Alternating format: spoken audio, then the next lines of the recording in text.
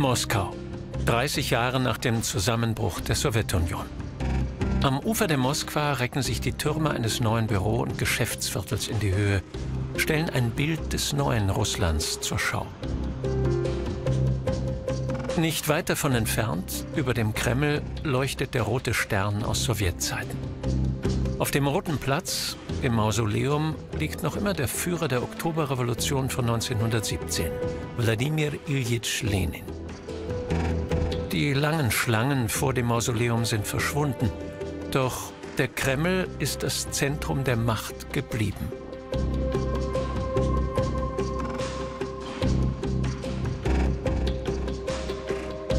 Von hier aus regiert Wladimir Putin, der Präsident der Russischen Föderation.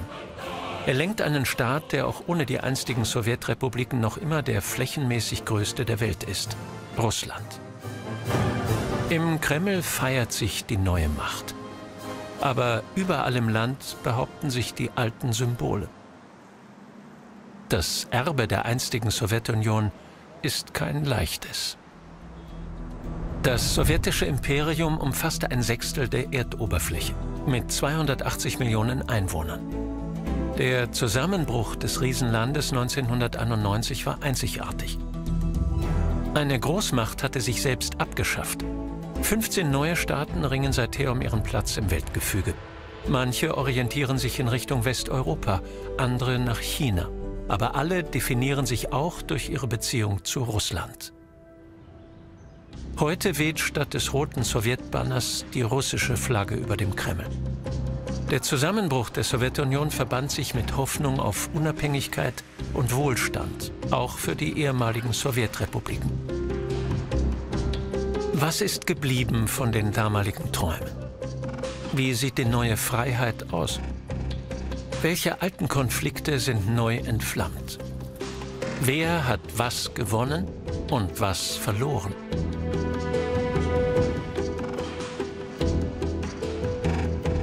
Und welche Rolle spielt Russland im postsowjetischen Machtgefüge?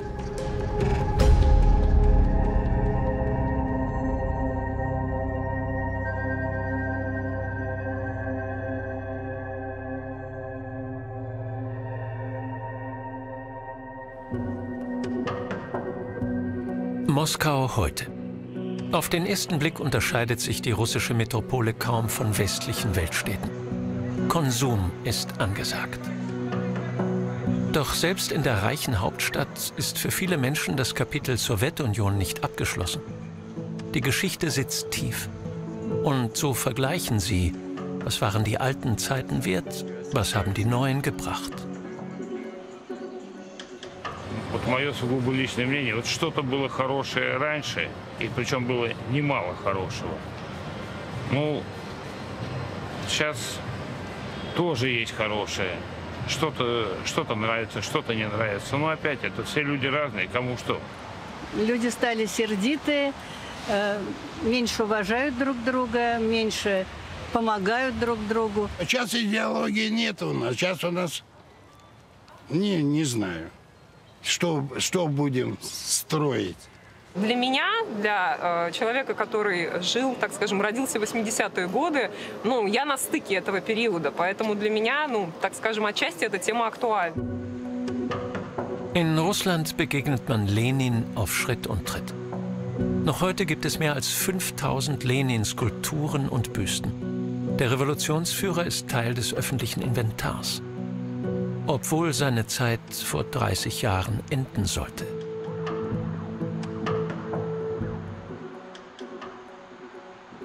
Но главное, что все ожидали, что будет только лучше. Потому что демократия... Armenien, die kleinste der ehemaligen Sowjetrepubliken, grenzt heute nicht einmal mehr an Russland. Auf dem Soldatenfriedhof der Hauptstadt Jerewan kommen immer wieder Gräber hinzu, Künden von Krieg und Leid. In der Kaukasusregion lodert seit Jahrzehnten ein Dauerkonflikt zwischen Aserbaidschan und Armenien. Beide Staaten beanspruchen die mehrheitlich von Armeniern bewohnte Region Bergkarabach. Bereits zu Sowjetzeiten waren die Kämpfe um die Gebirgsenklave entflammt. Schießereien und gegenseitige Pogrome mit vielen Toten. Die Union der sozialistischen Sowjetrepubliken, ein Verbund vieler Nationalitäten, konnte diese ethnischen Konflikte nicht befrieden. Mit der Unabhängigkeit der Staaten war der Krieg nicht vorbei. Im Gegenteil.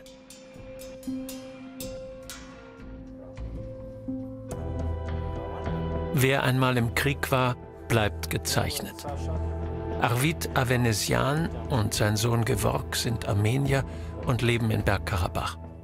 Sie waren Soldaten, wie auch ihr Freund Chaye Hossepian. Eigentlich sind sie Zivilisten. Arvid leitet eine Sportschule.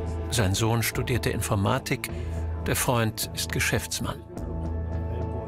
Die jüngsten Kämpfe endeten mit einer Niederlage, auch weil die Türkei Aserbaidschan militärisch unterstützte. Frieden mit dem Nachbarn Aserbaidschan schien ihnen noch nie so aussichtslos wie heute. Իսկ այդ շնամու հետ բարեկամություն անել ես չեմ հավատում։ Դա հնարավոր չէ։ Մարդկանց տրամադրությունները հիմնականում մարդիկ այն խինդը, այն ժպիտը, այն մարդկանց այն հպարտությունը, որ ունեինք, ունեինք առաջին ազատամարտից այս 30 տարվա ընթացքում հիմա մարդկանց դեմքին, աչքերի նայելով աչքերի մեջ այն փայլը չկա։ Շատ բան է փոխվել։ Երբ որ 44 օրյա պատերազմն էր արդեն 1 տարի առաջ Արեմտյան ոչ մի երկիր կոնկրետ քայլ չձեռնարկեց Ռուսական զորքը մտավ այդ տարածք։ Ռուսական զորքը զորքի միջամտությամբ պատերազմը կանգնեցվեց։ Das Kriegsgebiet im Sommer 2021. Es herrscht ein brüchiger Waffenstillstand zwischen Armenien und Aserbaidschan. Überwacht wird er, wie an diesem Grenzkontrollpunkt, von russischen Friedenstruppen. Im vergangenen Jahr hatte Aserbaidschan große Teile von Bergkarabach zurückerobert. Armenien musste die Gebietsverluste anerkennen.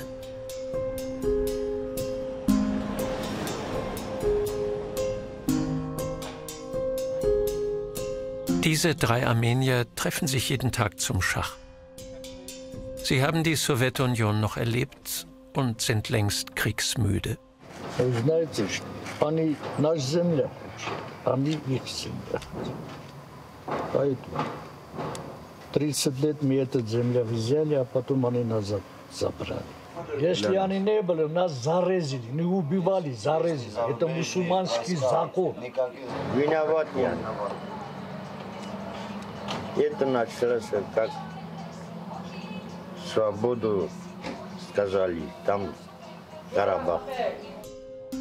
Ein wirklicher Frieden ist nicht in Sicht. Die Menschen hier fühlen sich Armenien zugehörig. Die Flagge des Landes ist immer dabei. Eine Fahrt mit Gagik Eljasjan ins Kriegsgebiet. Er ist Bürgermeister eines kleinen Grenzdorfes. Сейчас мы уезжаем, там Арагус называется вот это село. И там ближе азербайджановские посты и армянские посты там стоят. Heute herrscht Ruhe. Vor einem Jahr verlief genau hier die Frontlinie. Es wurde geschossen. Ein Krieg, der anderswo kaum zur Kenntnis genommen wird. Obwohl er seit mittlerweile drei Jahrzehnten an Europas Außengrenze stattfindet. За это днем здесь не так безопасно, да, а ночью уже опасно получается. Потому что вот рядом люди живут, но надо их охранять. Они же близко, может, при, придет что-нибудь по-плохому или убивает, или что-то сделать. На это люди вот стоят здесь, эти храматы, которые есть. Днем они стоят и охраняют ночью вот эти стороны. Днем едут они на работу, а ночью приезжают, а здесь пасты стоят. А где граница уже, там солдаты стоят. Вот эта сторона уже солдаты стоят, а там азербайджанцы стоят, вот эта сторона тоже азербайджанцы стоят. Mitten im Kriegsgebiet eine alte Kirche. Während die Aserbaidschaner schiitische Muslime sind, bekennen sich die Armenier zum Christentum. Die Religionen sind wichtiger Teil der nationalen Identität und ein Grund der jahrzehntealten Konflikte.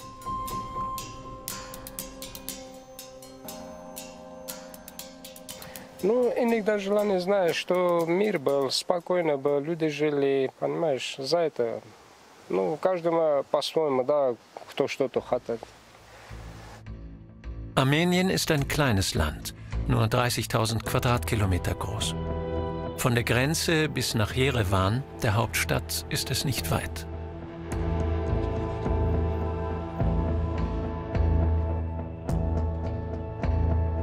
Seit Monaten bringt Arvid Avenesian seinen Sohn regelmäßig ins Krankenhaus. Gevorg wurde als Soldat schwer verletzt. In der Hauptstadt von Bergkarabach, Stepanakert, ist eine medizinische Nachsorge nicht möglich.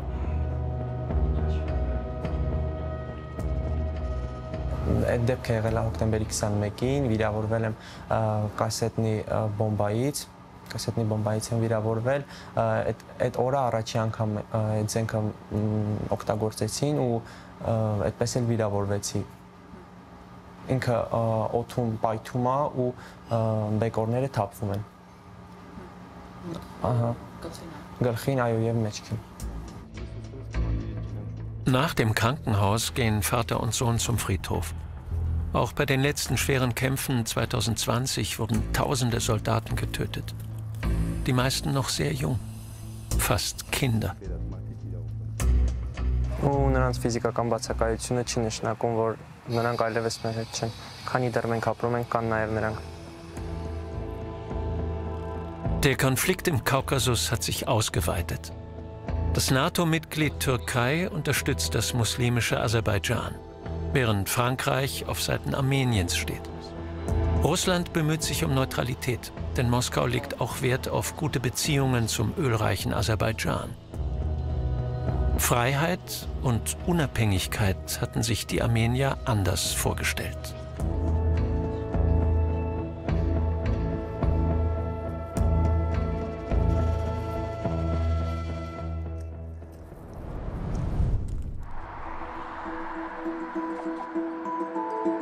Vor 30 Jahren wurden aus 15 Sowjetrepubliken selbstständige Staaten.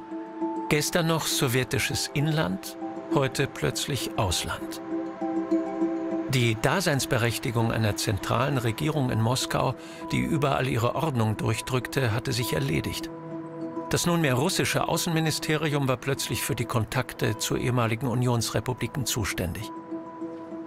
Niemand wusste so recht, wie mit der neuen Situation umzugehen war.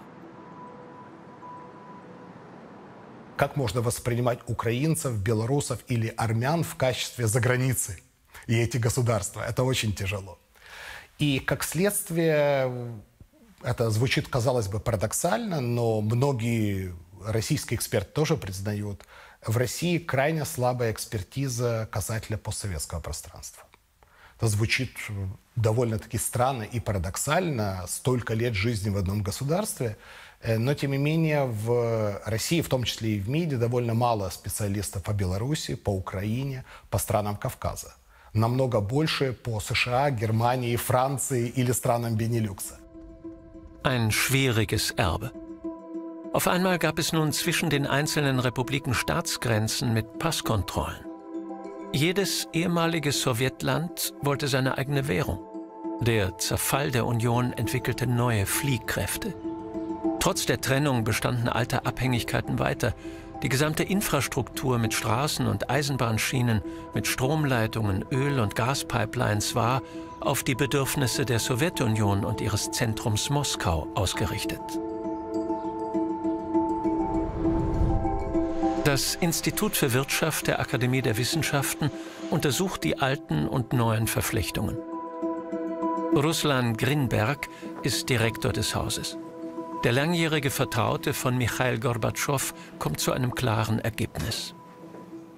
Понимаете, все страны постсоветского региона, у них один принцип уже 30 лет в отношениях с Россией. Максимум экономических преимуществ от России минимум политических обязательств. Die Sowjetunion. 1922 als Zusammenschluss der Unionsrepubliken entstanden. Freiwillig. So stand es zumindest in der Verfassung. Doch das Recht auf Austritt wurde nie wahrgenommen. Schon gar nicht war ein Austritt aller Unionsrepubliken vorgesehen. Aber das passierte 1991. Der Staat zerfiel in seine Einzelteile. Der Westen staunte über den rasanten Zerfall. Und 25 Millionen russische Menschen waren erschrocken. Sie fanden sich plötzlich in anderen Staaten wieder. Dazu die Ungewissheit, ob sie dort als Staatsbürger überhaupt Anerkennung finden, sowie Haus und Hof behalten würden. Wladislaw Bellow ist Direktor des Zentrums für Deutschlandforschungen. Ein Parteigänger Putins ist er nicht. Aber dessen Aussage, der Zerfall der Sowjetunion sei die größte geopolitische Katastrophe des 20. Jahrhunderts, findet er richtig. Можно согласиться, если мы под геополитикой в первую очередь понимаем интересы конкретных людей. И если мы говорим о миллионах, о миллионах судеб, которые вследствие антиконституционного, подчеркиваю, антиконституционного развала СССР оказались за пределами того государства, в котором они как бы считали, что живут. Речь идет о 25 миллионных граждан русскоязычных, которые оказались на территории, как говорят немцы, фон morgen, вот были сегодня в одном государстве, завтра в другом просыпаемся, которые оказались людьми зачастую второго сорта. Это, конечно, катастрофа. Anfangs wurde versucht, die Trümmer wieder aufzubauen. Das taurische Palais in St. Petersburg sollte nach dem Zerfall der Sowjetunion Sitz der Gemeinschaft unabhängiger Staaten sein. Eine lose Organisation der ehemaligen Sowjetrepubliken. Allerdings hatten sich die drei baltischen Staaten, Georgien und die Ukraine sofort abgewandt. Und die Gemeinschaft der anderen existiert nur auf dem Papier. Gipfeltreffen gibt es seit Jahren nicht. Die GUS hat keine Macht.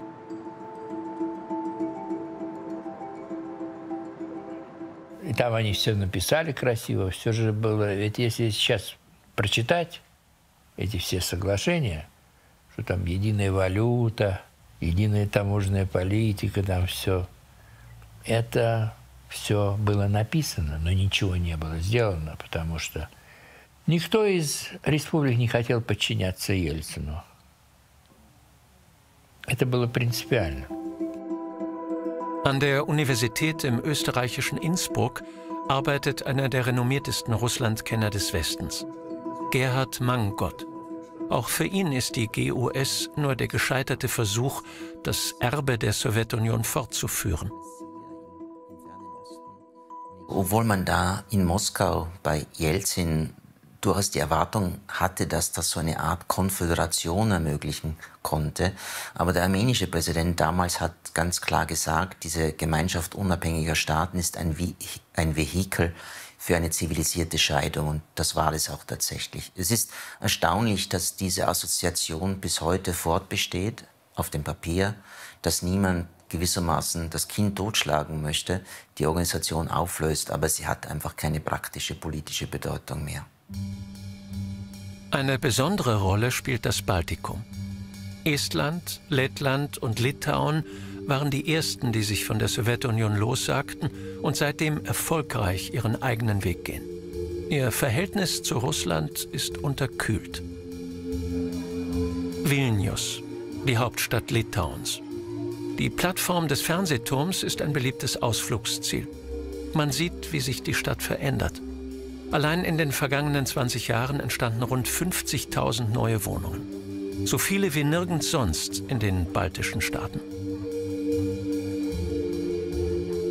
Im Zentrum das Parlament. Seit der Unabhängigkeit heißt es wieder Seimas. Hier arbeitet Ruslana Sparanovas. Der studierte Philosoph ist Mitarbeiter einer sozialdemokratischen Abgeordneten.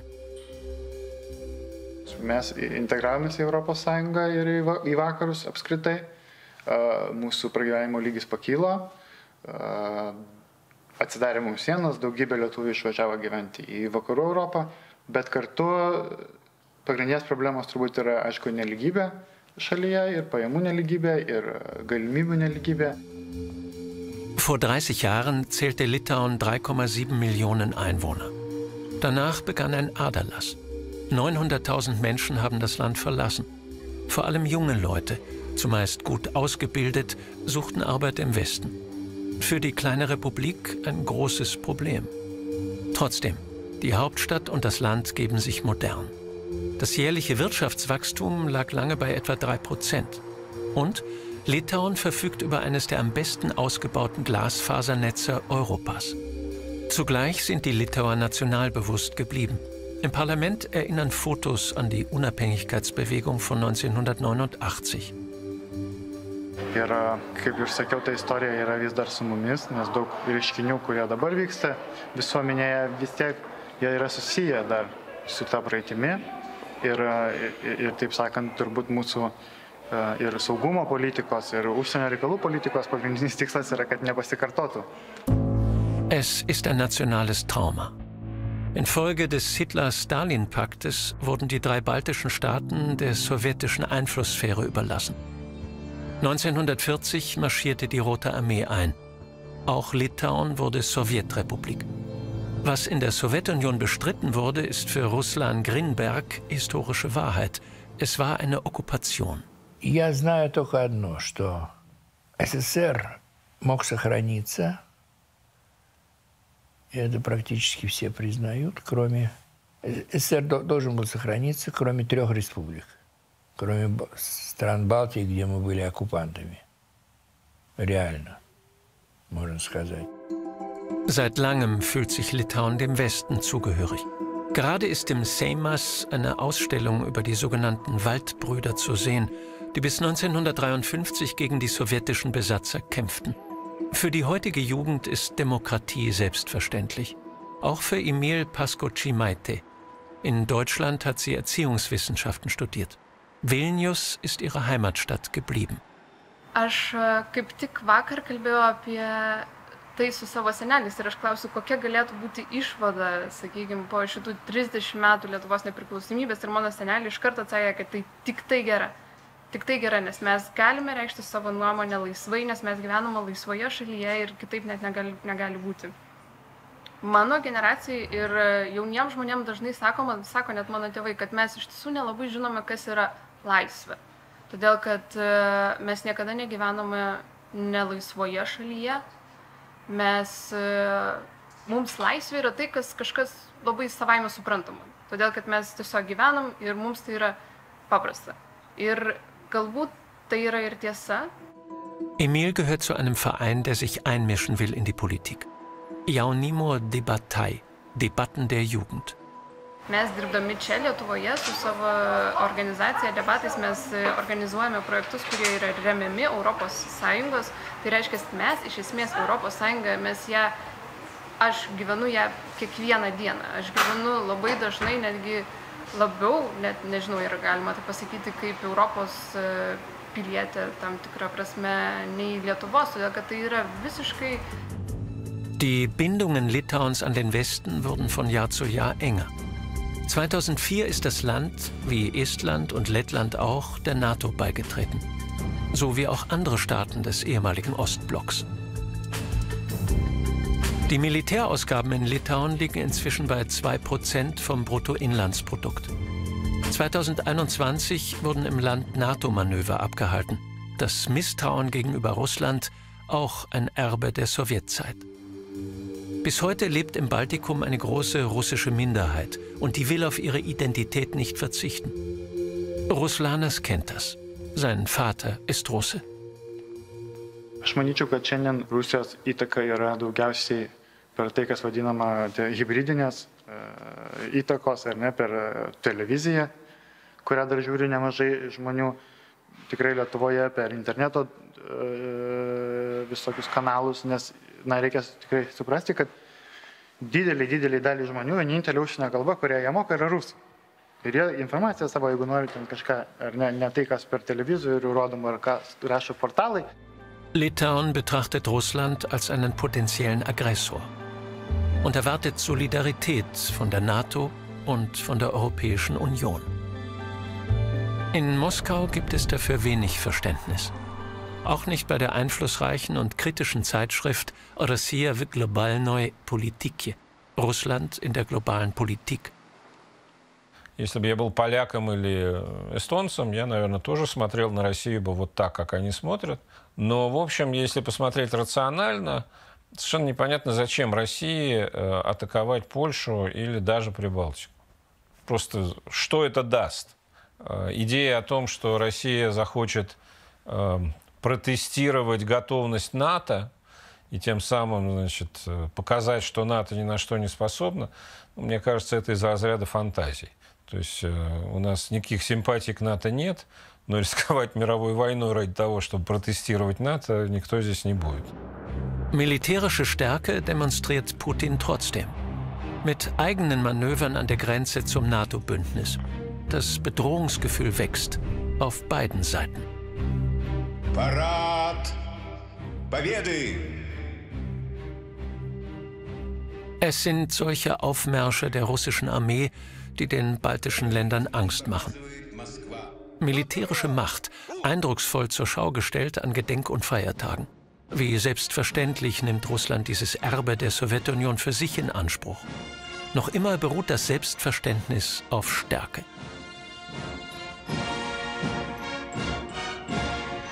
Die Menschen im eigenen Land sollen stolz sein auf ihre Armee. Der Westen und die NATO abgeschreckt werden. Russland sei eine belagerte Festung, sagte Putin. Also müsse man zusammenstehen. Im vergangenen Jahr gab Russland 4,3 Prozent seines Bruttoinlandsprodukts für sein Militär aus.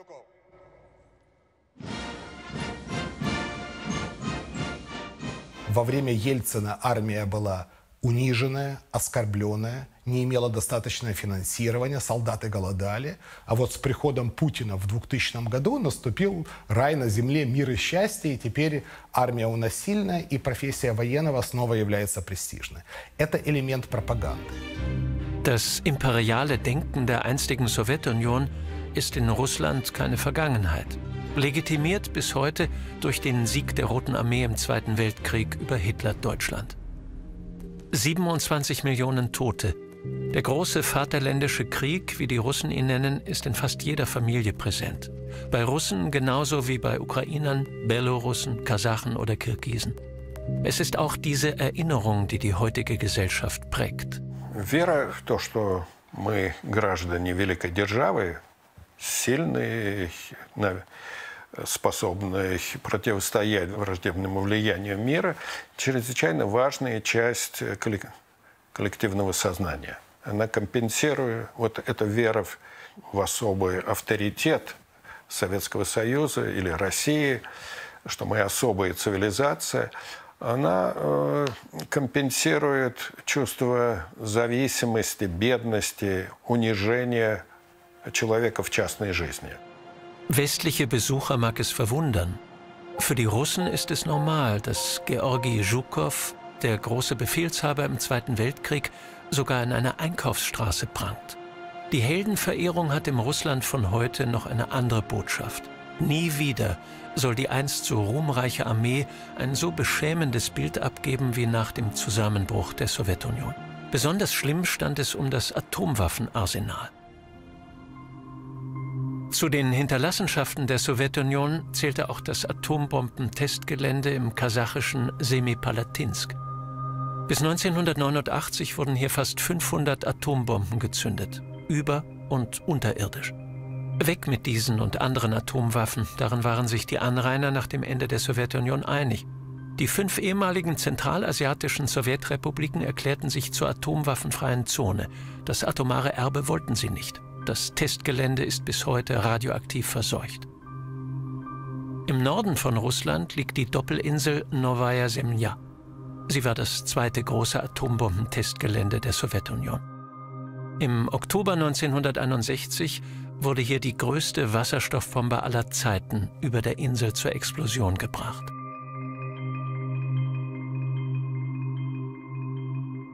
Noch immer liegt in den Gewässern rund um Novaya Zemlya jede Menge radioaktiver Müll. Auch das zählt zum Erbe der Weltmacht. Symbolisch für die russische Armee in den 1990er Jahren die Atom-U-Boote der Nordmeerflotte. In der Saida-Bucht nördlich von Murmansk liegt ein ganzer Schiffsfriedhof mit den Atom-U-Booten der sowjetischen Nordmeerflotte. Ein komplettes atomares Waffensystem in katastrophalem Zustand drohte eine Gefahr für Mensch und Natur in ganz Nordeuropa zu werden. Der Westen hatte Angst, angereichertes Uran könnte in die Hände von internationalen Terroristen fallen. Deshalb wurde eine Sicherheitspartnerschaft mit Russland vereinbart. Mehr als 200 Atom-U-Boote wurden fachgerecht verschrottet. Mit Hilfe von deutschen Spezialisten.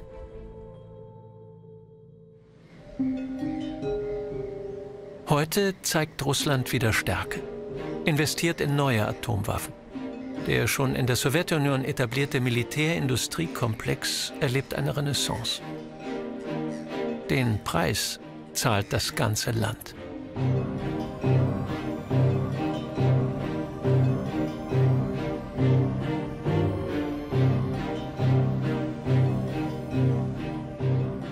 Die politische Führung dabei eigentlich vor allem den Irrtum begeht, zu glauben, dass eine Großmacht im 21. Jahrhundert sich nur militärisch definiert. Und Russland ist nur militärisch eine Großmacht, aber nicht wirtschaftlich, nicht finanziell, nicht technologisch, nicht demografisch. In Narilsk, der nördlichsten Großstadt der Welt, bündeln sich die Probleme der russischen Wirtschaft. Hier wird Nickel produziert.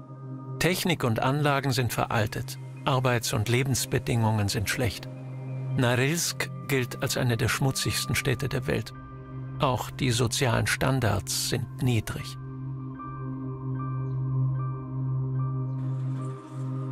Die Kaufkraft der Menschen in Russland steigt so langsam wie in fast keinem anderen Land Europas.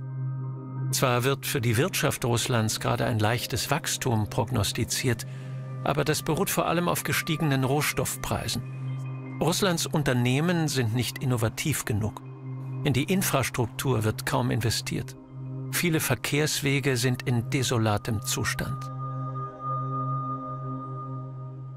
Я сожалею, что 30 лет не удалось достичь экономического чуда, как в Китае. Ну, по крайней мере, хотя бы с точки зрения транспортной инфраструктуры. По-прежнему у нас всего одна скоростная магистраль. Москва-Питер стыдно. У нас восточная магистраль «Автобан» до сих пор ремонтируется, которая связывает Москву и Пекин. Стыдно. Москва, да, Москва, вот, она э, э, преобразилась. Но я этого ждал от всей России. Такие же дороги, это, это такое же вот, э, процветание с точки зрения инфраструктуры. Этого не произошло. Э, ну, по крайней мере, вот эти деньги исчезли. Ganz anders in China. Am chinesischen Wirtschaftswunder möchte Putin nur zu gern teilhaben. Regelmäßig trifft er Xi Jinping, den Präsidenten Chinas. Erst recht, seit das Verhältnis Russlands zu Westeuropa abgekühlt ist. Gemeinsam betreiben Russen und Chinesen das gigantische interkontinentale Projekt Neue Seidenstraße. Russland hofft, dass sein ferner Osten profitiert. Schon jetzt ist China wichtigster Handelspartner und hat Deutschland von Platz 1 verdrängt.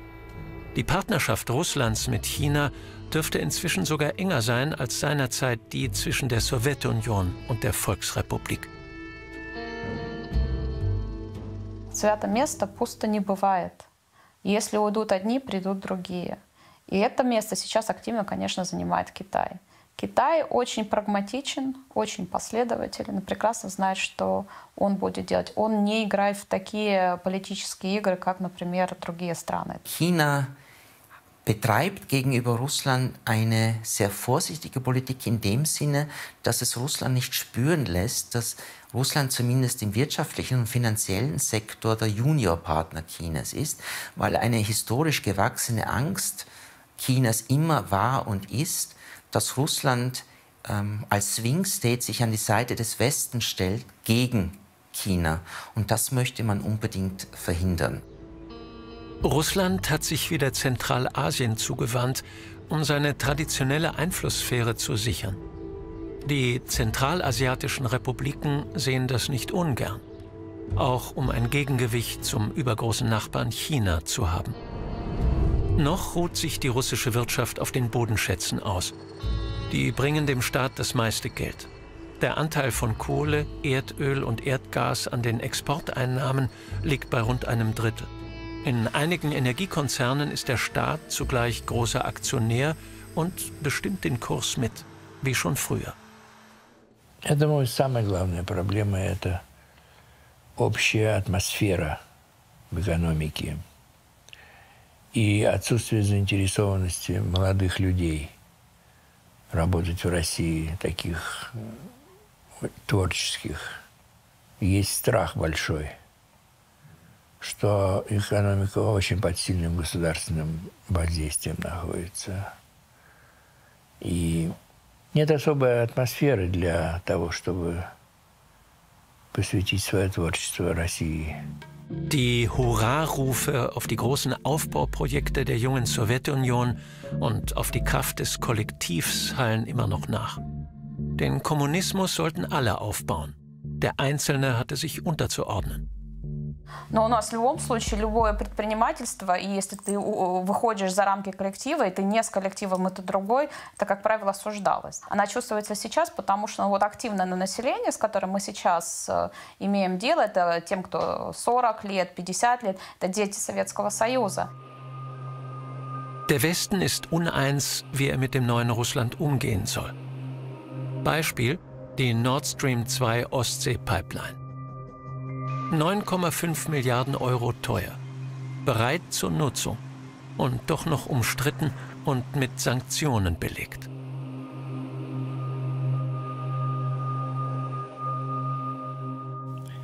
Я думаю, что в целом санкции больше солидарность укрепляют власти.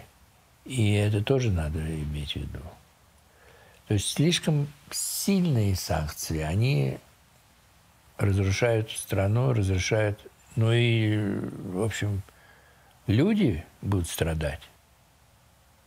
И это, в свою очередь, тоже будет больше wызывать стремление поддержать власть, чем Die Ukraine hatte wahrscheinlich die besten Voraussetzungen beim Start in die Unabhängigkeit. Doch das Land steckt heute in der Krise. Auch Präsident Volodymyr Zelensky ist es nicht gelungen, die Erwartungen der Menschen an Wohlstand und Frieden zu erfüllen.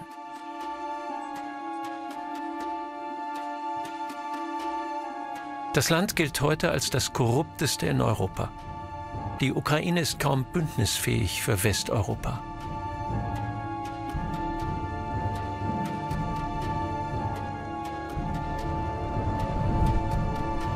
Der Staat ist tief gespalten.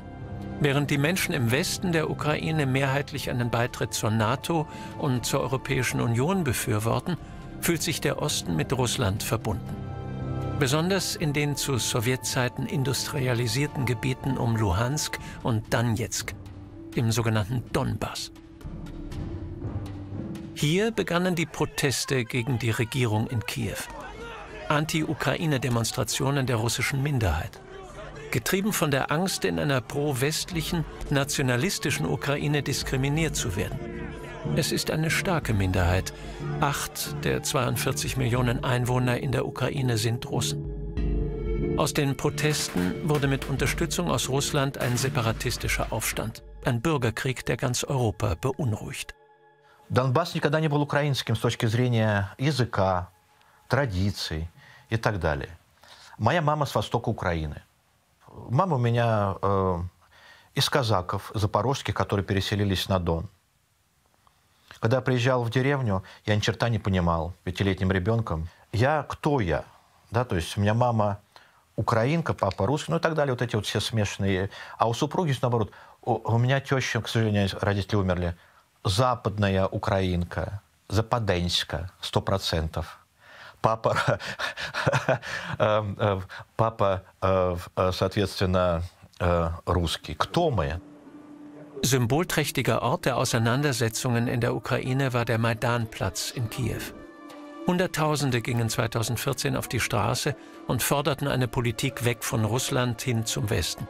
Die Ukraine war zwischen die Fronten geraten, hin und her gerissen zwischen der EU und Russland. Als nationalistische Kräfte die Regierung immer mehr auf eine radikale Abkehr von Russland drängten, betrachtete Moskau das als Provokation. Schauplatz einer Eskalation im russisch-ukrainischen Konflikt wurde 2014 die Halbinsel Krim im Süden der Ukraine. Heute betrachtet Russland sie als Teil seiner Föderation. Eine neue riesige Brücke soll die Krim und Russland noch näher zusammenbringen. Der Bau soll aller Welt zeigen, wir haben uns die Krim zurückgeholt. Russland demonstriert seine Macht gegenüber den ehemaligen Unionsmitgliedern, vor allem dann, wenn sie sich abwenden. Mit Unterstützung Russlands hatte die überwiegend russischstämmige Bevölkerung zuvor ein separatistisches Parlament gewählt. Im Ergebnis erfolgte die Angliederung an Russland. Für Westeuropa eine völkerrechtswidrige Annexion. Für Russland eine freie Entscheidung der meisten Menschen auf der Krim. Это были настоящие выборы. Согласен, что не все, наверное, было корректно с точки зрения международного права, но по сути событий это не было военным захватом, это не было аннексией, это было волеизъявление граждан. Der Westen verhängte Sanktionen gegen Russland, von denen sich Putin nicht beeindrucken ließ. Er hat ein Bedrohungsszenario abgewehrt, eine westlich orientierte Ukraine, in der womöglich NATO-Militär steht. Direkt vor Sevastopol, dem traditionellen Stützpunkt der russischen Schwarzmeerflotte. Смена власти в Киеве 2014 году в результате Майдана привела к тому, что на Украине установилась откровенно антирусская система власти.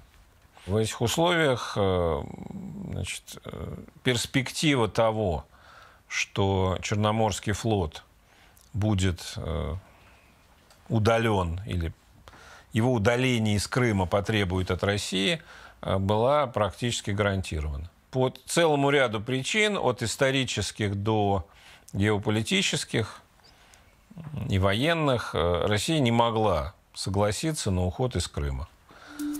In Russland ist kaum jemand zu finden, der die Krim nicht als Teil des russischen Territoriums ansieht. Ein neuer russischer Patriotismus hat Einzug gehalten. 30 Jahre nach dem Ende der Sowjetunion bei manchem vielleicht auch befördert durch die Erinnerung an die einstige Größe. Была большая страна, ну она и сейчас у нас большая, но многое потеряли. Вы знаете, мои родители, когда вспоминают про Советский Союз, всегда с большой любовью и а, все самые светлые воспоминания их жизни связаны именно с Советским Союзом. Вся советскость, она уже для нас она уже прогнила. То есть говорили одно, на деле было совсем другое. Moskau, der Arbat. Eine der bekanntesten Einkaufsstraßen. Das Erbe der verblichenen Großmacht als Souvenirs für Touristen.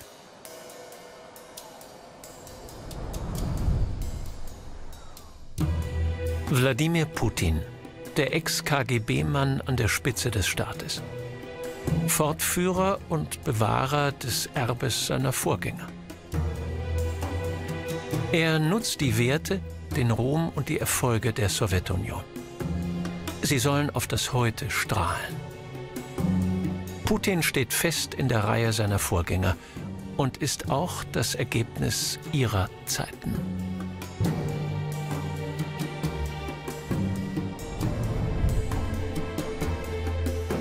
In den 1990er Jahren hatten die russischen Bürger mit ihrem Präsidenten Boris Jelzin auf ein besseres Leben gehofft, auf eine wunderbare Zukunft. Было очень простое представление о будущем. Коммунистов прогоним, коммунисты уйдут, и наступит жизнь, новая жизнь. Хорошая. Каждый думал, что все хорошее, что было – в социализме сохранится, и к этим преимуществам прибавится еще две очень важные истории. Во-первых, потребительский выбор, и, во-вторых, свобода. Это уже полное счастье. Der Übergang von sozialistischer Kommandowirtschaft zu kapitalistischer Marktwirtschaft vollzog sich als harter Bruch. Anna Urumjan ist heute eine erfolgreiche Unternehmensberaterin. Die Zeit damals erlebte sie als Schocktherapie. Нужно отдать должное, ведь мы жили в советской системе. Частная собственность, она не воспринималась. И у нас до сих пор есть, э, как отголоски, специфическое отношение даже в России сейчас к частной собственности или там к предпринимательству. А представьте это тогда, когда в предпринимательство ринулись или были вынуждены идти люди, занимавшиеся там совершенно другим и наукой, и культурой, потому что жить и выживать хотелось э, всем, и приватизация, по сути дела, это элемент такой шоковой терапии.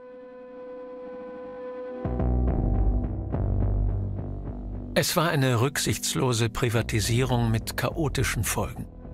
Ende der 1990er Jahre stürzte Russland in eine schwere Wirtschaftskrise.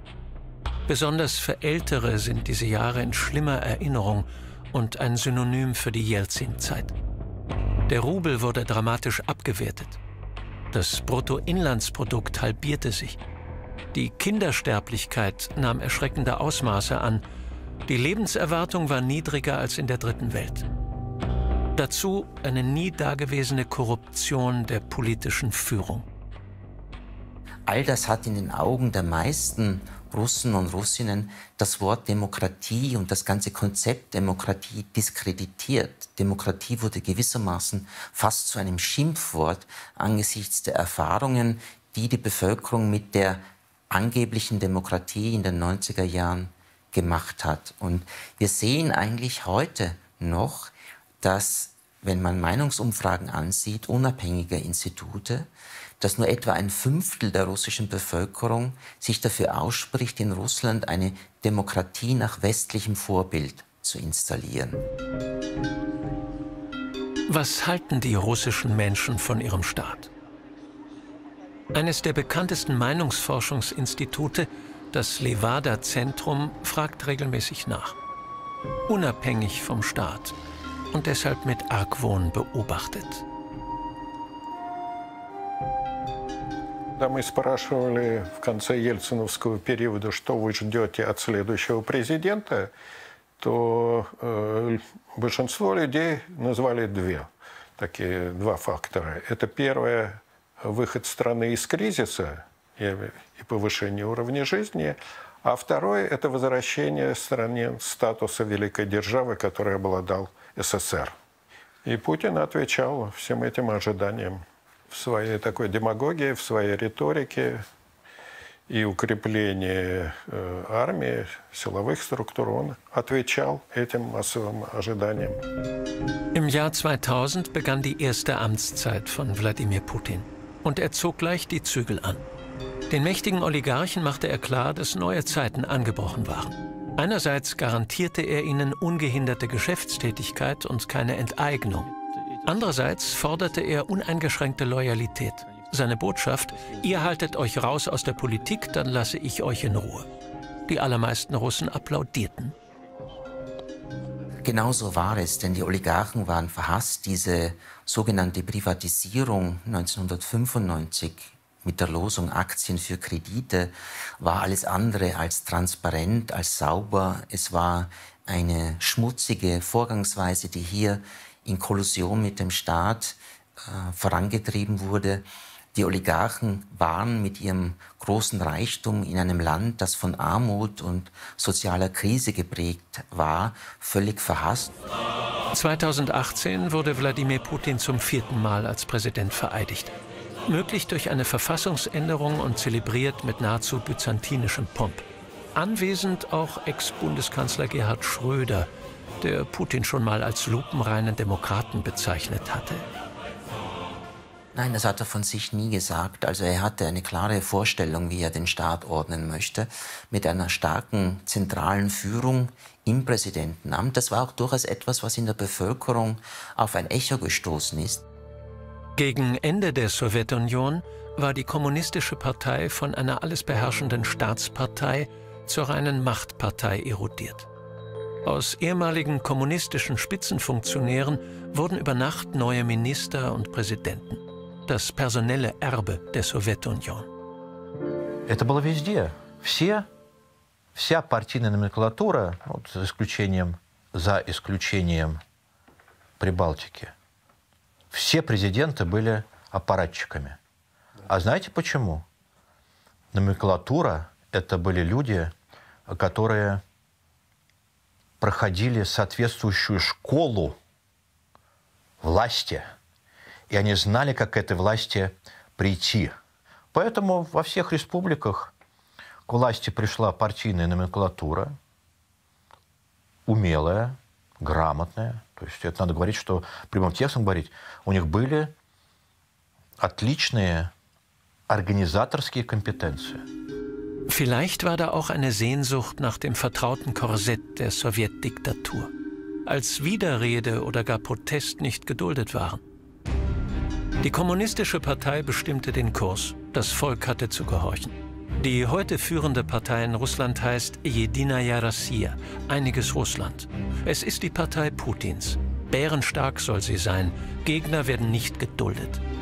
Ein Mitbegründer der Partei war Verteidigungsminister Sergei Shoigu, die heutige Regierungspartei betreibt Politik ähnlich wie die alte kommunistische Partei, herrschaftsorientiert.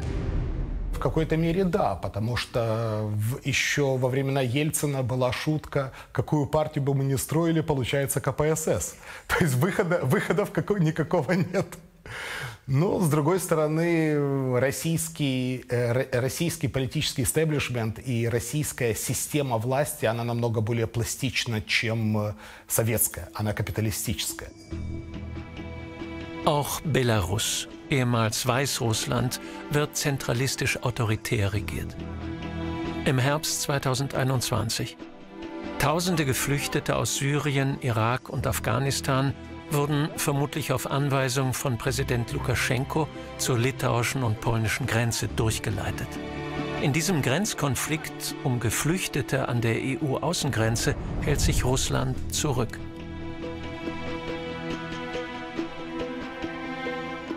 Belarus, gelegen zwischen Europäischer Union und Russland. Auch wegen gemeinsamer Geschichte und verwandter Sprache, früher ein verlässlicher Bündnispartner Russlands jetzt ein Wackelkandidat. Schon die Staatsflagge macht kein Hehl aus der politischen Nähe zur einstigen Sowjetrepublik. Nur Hammer, Sichel und Stern wurden getilgt. In der Hauptstadt Minsk wie im ganzen Land ist die Sowjetunion präsent.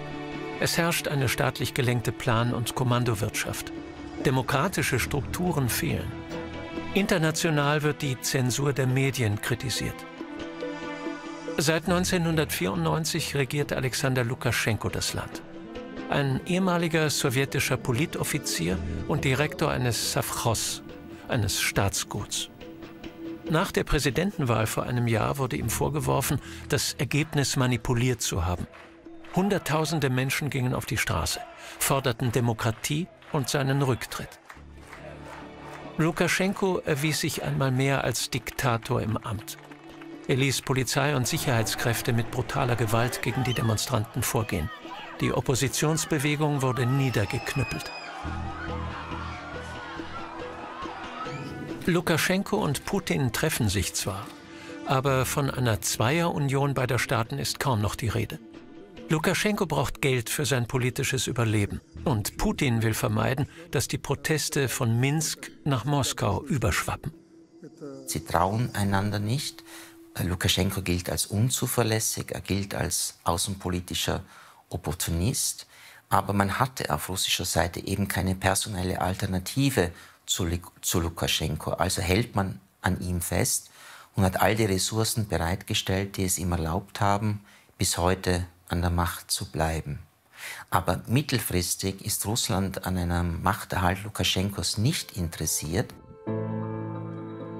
Auch in Kasachstan regierte lange Jahre ein Präsident mit autokratischen Neigungen. Nur mit anderen, günstigeren Voraussetzungen. Denn Kasachstan ist dank Öl und Gas das reichste Land der Region. Auf dem Reißbrett entstanden ist die Hauptstadt Nur Sultan, benannt nach dem ersten Präsidenten Nur Sultan Nazarbayev. Der langjährige Führer der Nation war zu Sowjetzeiten Mitglied des Politbüros der Kommunistischen Partei. Anders als Kasachstan taten sich die ehemaligen armen Sowjetrepubliken Usbekistan, Kirgistan, Turkmenistan und Tadschikistan anfangs schwer mit der neuen Freiheit. Zu groß war die Abhängigkeit von der Zentralmacht in Moskau. Millionen Menschen aus den ehemaligen Sowjetrepubliken in Zentralasien sind in Russland als Wanderarbeiter beschäftigt. Vor allem in den Großstädten Moskau und St. Petersburg. Sie schuften auf Baustellen, im Dienstleistungsgewerbe oder in der Landwirtschaft. Menschen aus dem Kaukasus sind als Händler unterwegs. Ihr Lohn ist für die Familien daheim meistens die wichtigste Einnahmequelle. Von den Russen werden sie oft als Tschornie, als die Schwarzen rassistisch verunglimpft. Eine weit verbreitete Diskriminierung der Wanderarbeiter, die von Meinungsforschern so bestätigt wird. Уровень ксенофобии очень высокий в России, особенно по отношению к, именно к приезжим гастарбайтерам из Средней Азии. Он сильнее ощущается в крупных городах, где, собственно, есть рынок труда для мигрантов, потому что приезжие э, начинают вступать в конкуренцию в сферу системы образования, в системе медицины, претендуют на это. Но главным образом это, конечно, внутренняя попытка сохранить свою идентичность через э, агрессию по отношению к приезжим. Это äh, reale Probleme. Die meisten der Wanderarbeiter kommen von hier, aus Kirgistan. In Bischkek, der Hauptstadt, ein Leben zwischen Islam und sowjetischem Erbe. Советский Союз уже давно ушел. А что вы думаете? Хорошо было, не Хорошо было. Русские были первый сорт, киргизы второй сорт были тогда. Сейчас вот нормально мы сейчас. В демократии нормально живем. Ein Vorort, früh am Morgen. In einem der Häuser wohnt Rita Ergeschowa. Sie ist von Beruf Schneiderin. Ihr Mann und zwei ihrer fünf Kinder leben und arbeiten in Russland. Auch sie selbst war einige Jahre dort. Gemeinsam mit Tochter Satanat fährt sie zur Arbeit auf den Bazar. Dort besitzt Rita Ergeschowa einen kleinen Laden für Damenwäsche, gekauft vom Ersparten ihrer Arbeit in Russland. Без России, мне кажется, мы не сможем жить. Все равно Россия поддерживает. Вот. Владимир Владимирович Путин никогда... Бывшие страны СНГ все равно оно будет дружить, и будущие перспективами должно быть оставаться дружескими. Узбекистан, Таджикистан, Казахстан все равно. У нас вот почти 2 миллиона кыргызов наших, они получили гражданство, там работают. Вот. У меня дочка, сын работает. В каждой семье кто-то работает, понимаешь? В каждой семье. Я не знаю, либо муж, либо жена, либо сын, либо дочь. Der Islam im Land ist ein wiederbelebtes vorsowjetisches Erbe. Daneben besteht eine starke russisch-orthodoxe Kirche. Die jahrhundertealten einheimischen Helden werden verehrt, ebenso wie die aus Sowjetzeiten. Kirgistan hat 6,5 Millionen Einwohner, davon 800.000 Russen. Neben Kirgisisch gilt auch Russisch als Amtssprache. Die Hinwendung vieler Kirgisen zum Islam kann Rita nicht verstehen. Auf Druck muslimischer Männer würden immer mehr Frauen nicht mehr arbeiten gehen, sondern sich mit einem Leben als Hausfrau begnügen. Мне кажется, при Советском Союзе было больше голосов женщины. Но сейчас нету прав, мне кажется. Сейчас более уже как бы перешли многие женщины в ислам. Вот этот вот. И мне кажется, что некоторые семьи, мне даже не нравится, что вот вот этот вот носят сейчас многие, знаете, вот это хиджаб, вот эти паранжу одели. Сейчас женщины, многие сейчас они, нет у них голоса, понимаешь, своего «я». Im Süden des Landes leben viele Usbeken. In der Vergangenheit kam es zwischen ihnen und den Kirgisen auch zu gewaltsamen Auseinandersetzungen. Eine Ursache die unterschiedliche Auslegung des Glaubens. Die Usbeken legen ihn sehr streng aus. Die Kirgisen praktizieren den Islam eher entspannt. Ислам надо, для всех надо, но не чересчур, конечно. Правильно же? Не чересчур. Религия, думаю, что человечество важно, да? Религия тоже план, на втором плане это можно, нужно также. Heute erstrahlt in Kirgistan der Islam in neuem Glanz.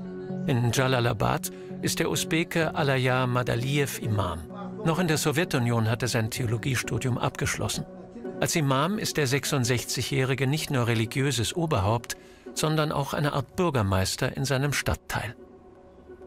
Dada yaxshi aloqa yaxshi bo'lgan, muomolasasi yaxshi din erkeli dinga juda yaxshi qaragan sayz mahalda ham istir mahalda. Dinda juda hurmat qilgan dinda. Unaqa dinga kirishib unaqa qilgan emas oni aytasan mona aytasan degan narsa biror marta bu kontrol bo'lgan emasda. Chunki diniylar ham to'g'ri to'g'ri masala bo'lib kelardi. U paytda firqa yo'q edida mana bunaqa hizbiy vahobiy salaf deganlar yo'q edida. Ana shuning uchun bu temada gap bo'lmar edida. Hamma to'g'ri namoz to'g'risida bir biri bilan ittifoqli to'g'risida shunaqa masala bo'lardi shuning davlat mutlaq unaqa narsalarga endi hozirgi paytda bunaqa firqalar ko'payib ketdi shuning uchun davlat ham quvib yuribdi hozir bularni u paytda mutlaq dinga unaqa kirishgan emas so'z mahalda Kirgistan definiert sich selbst als säkularen Staat. Doch wie stark der Einfluss eines radikalen Islam werden könnte, ist nicht abzusehen. Imam Madaliev predigt einen moderaten Glauben. Jeden Freitag sind die Moscheen gut gefüllt. alhamdulillah qirg'izistonda din erkinligi juda yaxshi. Bu din erkinligi boshqa davlatda ham yo'q bunchalik. Erkinchilik shu darajada berilgan. Hech qanaqasiga bu dinga hech qanday to'siq yo'qda inshaalloh. Hamma yerda o'sha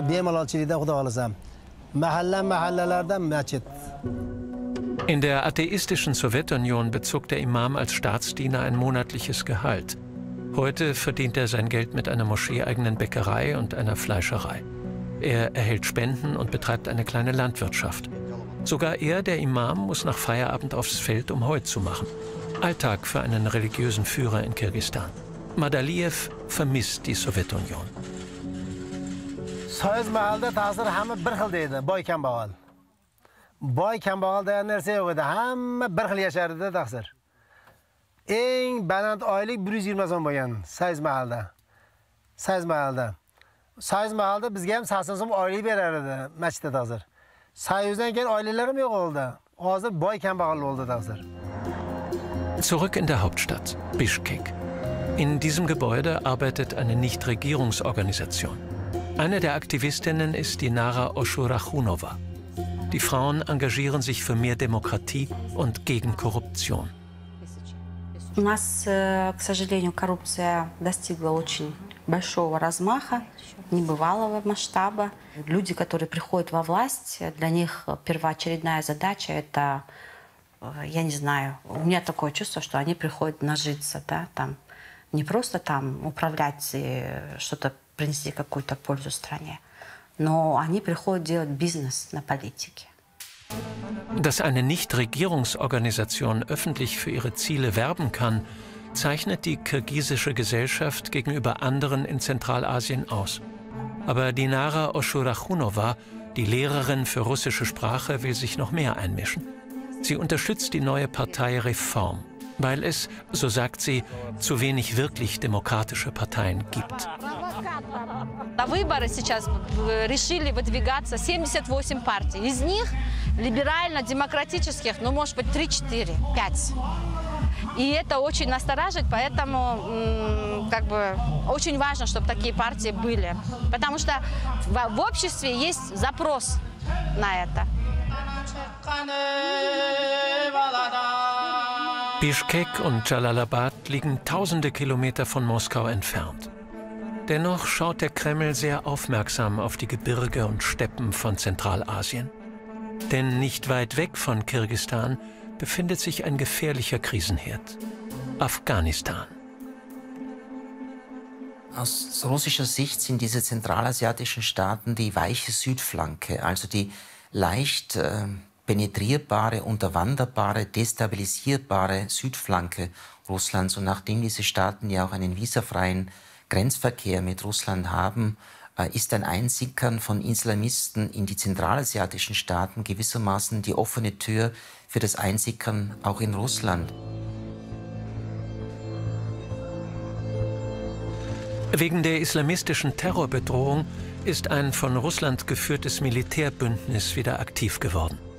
Neben Russland und Belarus gehören diesem Bündnis Tadschikistan, Armenien, Kasachstan und Kirgistan an. Gerade fanden große Manöver in Tadschikistan statt. Russlands Einfluss in Zentralasien nimmt wieder zu.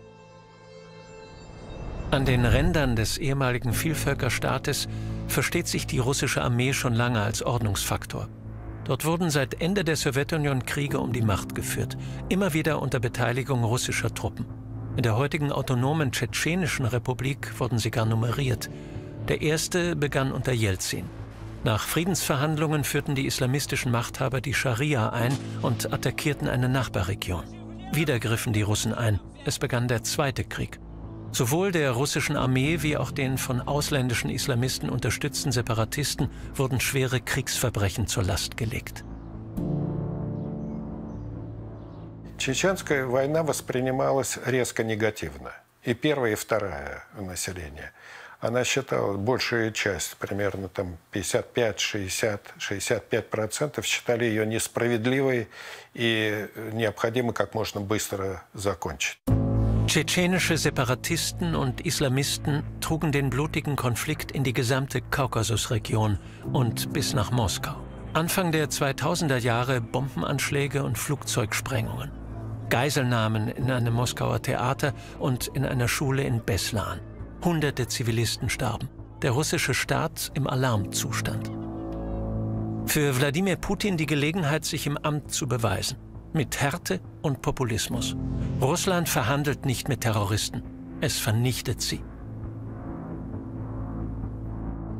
Die Journalistin Anna Politkovskaya hatte immer wieder über die Brutalität des Tschetschenienkrieges und über Korruption in der russischen Armeeführung berichtet. Im Oktober 2006 wurde sie vor ihrer Moskauer Wohnung erschossen. Waren politische Kreise des Kremls oder tschetschenische Anführer für die Bluttat verantwortlich? Trotz Gerichtsverfahren und Urteilen wurden die wahren Drahtzieher nicht ermittelt. Der Mord wurde in Russland auch als Warnung an Regimekritiker verstanden. Но если мы будем смотреть на ситуацию в реальности и, скажем, довольно-таки прохладно и четко, в России в данный момент нет такой серьезной оппозиции, которая могла бы причинить большие проблемы Кремлю, которая могла быть опасной. Но этот принцип показать силу и подавить любые противозародыши, он срабатывает. Es ist ein Prinzip, das an sowjetische Machtmechanismen erinnert. In den 60er Jahren entstand der Begriff des Homo Sovieticus, des Sowjetmenschen der geprägt ist von kollektiven Werturteilen und Haltungen. Für viele Menschen in den einstigen Sowjetrepubliken sind diese Prägungen bis heute gegenwärtig.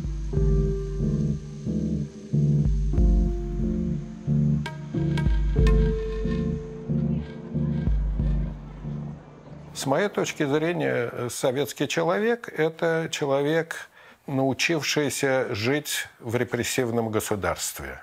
Мы так думали, что он не воспроизводится. Приход э, Путина и авторитарной э, системы – это не случайная вещь, а в некотором смысле продолжение советского режима. Россия священная Putin leistet diesen alten Werten Vorschub. Mit ihm besann sich Russland ganz offiziell wieder auf Teile des Erbes der Sowjetunion. Am 30. Dezember 2000 wurde die Hymne der Sowjetunion mit neuem Text wieder eingeführt. Das Alte nutzen, wenn es dem Machterhalt des Neuen dient.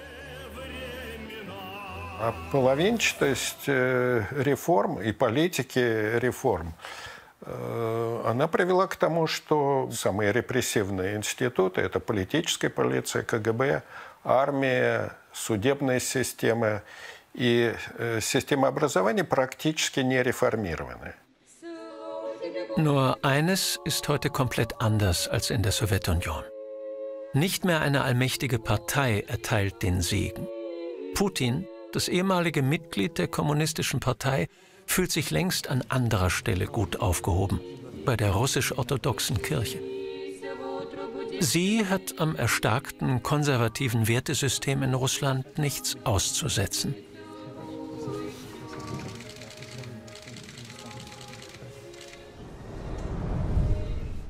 Vor 30 Jahren wurde die rote Flagge der Sowjetunion vom Kreml eingeholt. Kaum jemand protestierte damals.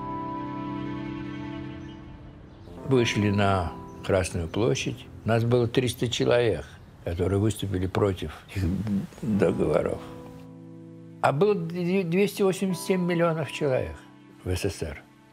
Я говорю, один человек от миллиона пришел защищать Советский Союз. Это было забавно. Russland ist der größte Nachfolgestaat. Noch immer sucht es seinen Weg zwischen Europa und Asien.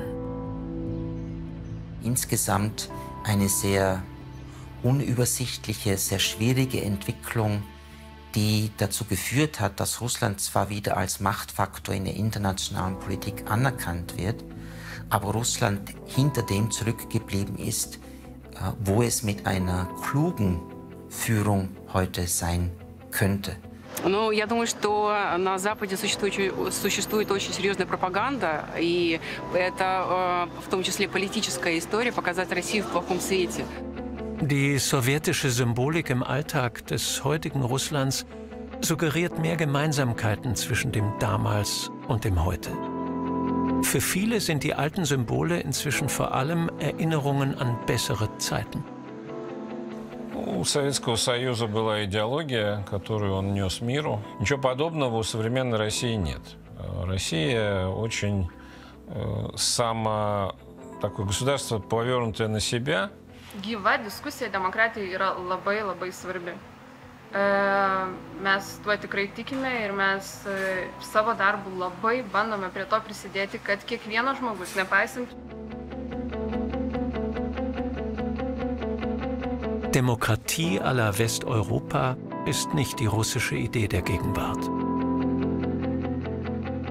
Der Stolz auf die russische Größe, die Besinnung auf gemeinsame Traditionen, das alles soll das Land stark machen.